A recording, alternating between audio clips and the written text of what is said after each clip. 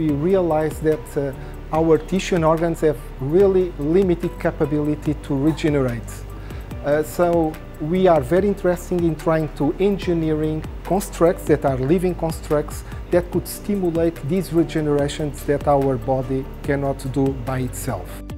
When we have our biomaterials, we need to process them in order to give the shape and the final structures that we, we wish. There are different ways to do that.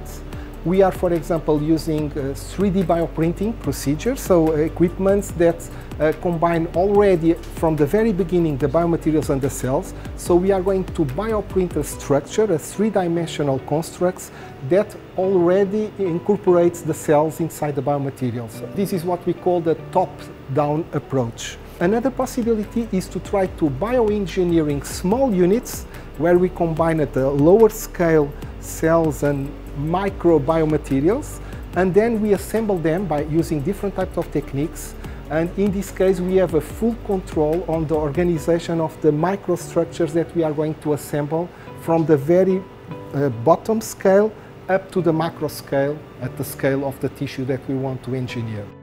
So we are doing that by combining biomaterials and cells.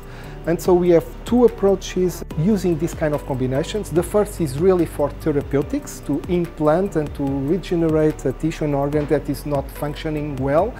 And the second uh, application is to try to develop uh, constructs uh, that have some kind of disease. So we are really creating disease tissues that, for example, can recapitulate the uh, biology of, uh, for example, tumors.